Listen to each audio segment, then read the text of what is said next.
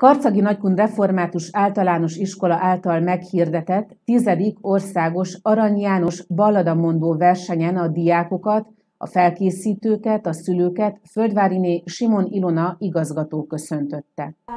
A versenyt a református és a város területén található iskolák 6-7-8-9. évfolyamos tanulói részére tartották, ezzel emlékezve a református iskola újraindulásának 24. évfordulójára. Ez egy jubileumi év ezzel kapcsolatban. E tizedik alkalommal rendezzük meg. Annyit kell tudni a versenyről, hogy két évenként szoktuk megrendezni, és kötjük Arany János születésnapjához és így március első hetében, ahogy a dátum kijön, úgy szoktuk megrendezni általában mindig egy pénteki napon. Hát elsősorban református iskolák diákjait várjuk erre a versenyre, de természetesen meghívást kapnak a város területén élő és működő iskolák tanulói is.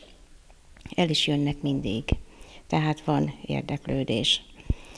Erre a versenyre 24 diák nevezett 9 iskolából, de sajnos el kell mondani, hogy többen visszamondták a betegségre, a vírusra, vagy a vírusokra való tekintettel. Úgyhogy most jelen pillanatban 18 versenyző van.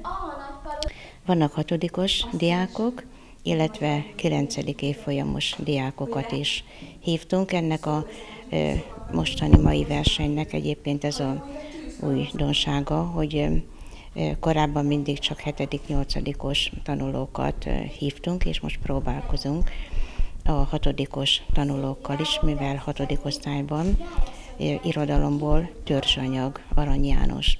Annak is örülünk, hogy szeptembertől ennek van folytatása, mert Nagykörösön az Arany János Református Gimnázium pedig felvállalta középiskola szintjén ennek a versenynek a folytatását, tehát folytatása Nagykörösön, a Református Gimnáziumban folytatódik. A verseny témája a költő balladái voltak. A balladáról annyit kell elmondani, hogy egy nagyon nehéz műfaj, Éppen ezért most már pár éve úgy hirdetjük, hogy kötött, kötelező ballada nincsen. Ugye eddig elmondtak egy kötelező balladát, és elmondtak egy szabadon választható balladát, és úgy kérték a felkészítő nevelők, hogy ez úgy sok, hosszú. És ide a versenyre úgy érkeznek a diákok, hogy elmondanak egy szép balladát, egyébként is a balladáknak a terjedelme már önmagában is hosszú. Nagyon alaposan felkészülnek, mindig nehéz a zsűrinek a döntése.